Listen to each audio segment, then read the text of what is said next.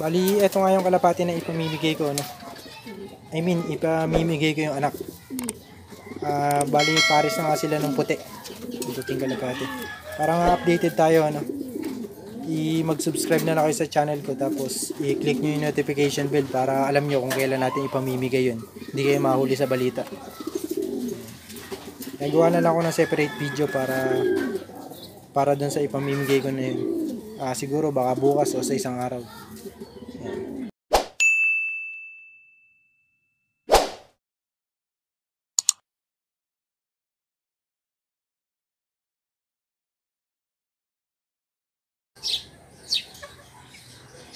Bali, ang una kong tips na ibibigay sa inyo sa pagpapares ng kalapati. Ah, kapag ka magpapalit kayo ng kapares ng kalapati, pag naghiwalay kayo ng kalapate, siguraduhin nyo na hindi nyo na makikita yung kapares niya, no? Para masabik siya. Yan lang naman ang sikreto sa pag ano sa pagpapares ng kalapate. Kailangan yung kalapate na pinagpapares nyo sabik parehas, sabik pumares. Kung yung kak matagal na siyang di napaparisan, tapos yung hen ganun din. Madali lang natin siya mapagpapares. Ah, madali lang naman magpares ng kalapate. Actually mga wala pang 5 minutes yung iba nagpapares na. Yan, kaya lang natatagalan kapag nagpapalit na ng pares. Kasi hindi pa nga sabik yung kalapati natin. Ganyan lang gagawin nyo. Pag naghiwalay kayo, hindi nila nakikita yung kapares nila. Yan, nakikita nyo. Maghiwalay sila pero hindi nagkakatanawan. Pagka kasi naghiwalay kayo ng ganyan at nagkakatanawan pa rin yung pinagpares nyo. Hindi nasasabik yung kalapati. Ngayon, kapag kahit na nilagyan nyo sila ng nasasabik na kapares, hindi sila papares. Nag-aaway lang.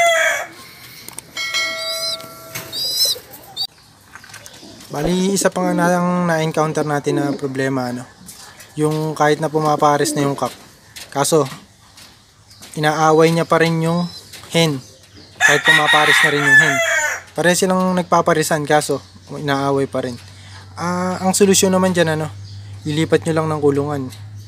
Meron kasing mga kak na masyado ng pag masyado ng matagal dun sa lugar na yun. ah, masyado silang ano eh, nagiging territorial nga. Mga kalapati kasi territorial yan. Yung kapag masyado silang matagal dun sa lugar nga na yun, na-attach sila masyado. Ah, inaaway nila kahit na sabik na silang pumares, inaaway pa rin nila. Bali, yung gagawin nyo lang dyan, ah, pwede nyo gawin nyo, lipat nyo yung kulungan nila. Li- lipat sila sa ibang kulungan. Ah, pwede nyo gawin nga, unahin nyo yung hen dun sa kulungan. Susunod lang yung kak. Kahit na one day lang ano, o kaya oras nga lang eh. Kung sa umaga, ilagay nyo na yung hen. Sa hapon naman, ilalagay nyo yung kak. Para hindi mambug, mambugbog yung kak. Isa pang problema na na-encounter natin sa pagpaparis ng kalapate, no? Nung ayaw bumara ako nung, ano, nung kak. Kahit na matagal na siyang matagal na siyang ano, walang kapares. Kadalasan naman kasi kapag ka hindi bumabara ako yung kak na yun. Depende rin kasi sa kinalakihan niya. Minsan kasi kapag nasanay sa loop, di ba minsan magkahiwalay yung kak at saka yung hen. So kahit nga sabihin natin na magkasama no. Kapag ka kasi masyadong malaki yung kulungan dun sa loop nyo. Halimbawa. Halimbawa nga. Ayan, nakita nyo, di ba? Walo yung bee perch na yan. Tapos walo din yung kalapati natin. Ah, nasasanay kasi yung kalapati kapag ka malaki yung yung kulungan. Halimbawa, kung 20, 20 ang perch na yan, tapos walo lang sila. Di sila nasasanay bumarako o maging territorial kasi palipat-lipat sila ng inaapunan. Yan. Kasi masyadong malaki nga yung ano nila, yung kulungan. Yun ang nagiging disadvantage nun. Yan. Di, hindi na nga sila pumapares. Ngayon, ang ang solusyon naman dun, pagka ayaw nga pumares o bumarako ng kak natin, minsan nga na, na ano natin yan, di ba? Napagkakamala natin na hen. Pero barako yan. Ngayon, para mapabarako nga natin yung kalapati. Para mapabarako nga natin yung kalapati, gagawin natin, ano, ilalagay natin siya sa kulungan na masikip. Halimbawa, itong double cage na to, gagawin nyo, hatiin nyo yan. Ngayon, di medyo masikip nga siya, pang isahang kalapati. Ngayon, ang ilalagay nyo rito kung di lona, etong plywood para ah, maging territorial nga siya. Gagawin nyo kasi minsan kasi yung mga mahihiyain na yun o yung ayaw ang bumarako. May ilap din. Makikita ka palang ayaw ng bumarako. Ngayon parang ah, tumapang yan. Gagawin nyo, papaamuhin nyo muna. Pagka napaamo nyo na ngayon, babarako na yan. Ngayon, hindi naman basta-basta babarako yan. Ngayon, pagka naging territorial niya, kailangan nyo papagalitin nyo. Ano? Gagawin nyo ganyan ninyo para magalit siya maging territorial.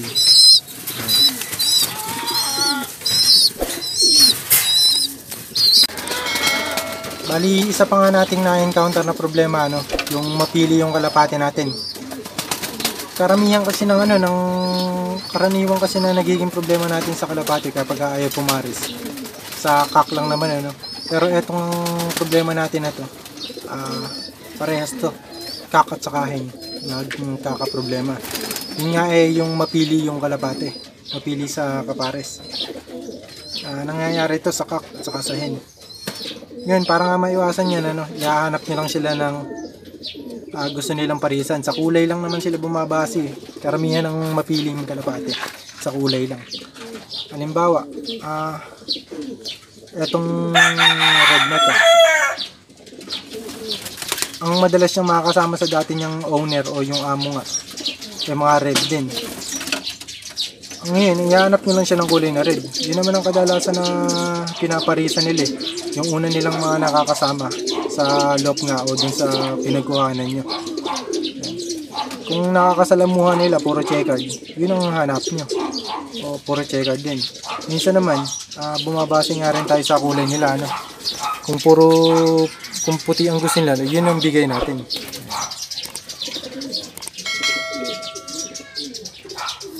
Isa pa nga nating nagiging problema sa sa pagpapares ng kalapate, no? Yung ayaw nga nilang pumares. Masyado silang na-attach dun sa dati nilang kapares. Yun. Kapag ka ganun nga, hindi sila nasasabik eh. Kahit na ilipat nyo ng kulungan, hindi nasasabik yung kalapate. Pwede tayong pwede tayong ano, ah, gumamit ng darkening system o isolation method nga na tinatawag. Ang darkening system naman, Halimbawa, yung kulungan na to. ah, tatakpan lang natin ng lona o kaya ng itim na tela. Yun. Ah, puro dilim lang makikita niya. Ah, ano to? 3 days to 2 weeks. Pwede nyo gawin to para makaparis nga yung kalapate natin. Ah, tatakpan lang ng tela yung kulungan para wala siyang nakikitang kalapate. Yung isolation method naman na tinatawag, parang ganyan din, ano? Ang pagkakaiba lang sa isolation method, hindi hindi niyo siya tinatakpan. Ang, ang gagawin niyo lang dito, halimbawa, ayan, ang kulungan na yan sa, sa double cage. Pwede niyo siyang ilagay sa sa ibang lugar na wala silang nakikitang ibang kalapate. Ayan, para masabik sila sa kalapate. Ngayon, eventually naman, pagka pinares nyo, pinares nyo sila sa ano, at nilagay nyo nga sila sa kulungan na bago, no? papares na sila. Yun nga yung mga tips na maibibigay ko sa inyo, no? Sa pagpapares ng kalapati at para mapagpares nyo anong mabilis yung kalapati. Ayan. Sana may natutunan kayo. Happy flying sa inyo. Salamat. One eternity later. Shoutout nga pala kay Carl Jefferson. Shoutout din kay Bal Ariaga Pets TV. Subscribe nyo rin yung channel niya. Shoutout din kay Vlog Star Love. Subscribe nyo rin yung yung ano niya, yung channel niya. Shoutout din kay Rosemary Del Carmen. Shoutout kay Sir Jeremio Doca. Salamat sa suporta. Shout out kay Jason Lop. God bless din sa iyo, sir. Shout out kay Videoman Lop TV. God bless din sa inyo, sir. Yun. Suportahan nyo rin sana yung channel nila, ano. Maraming maraming salamat.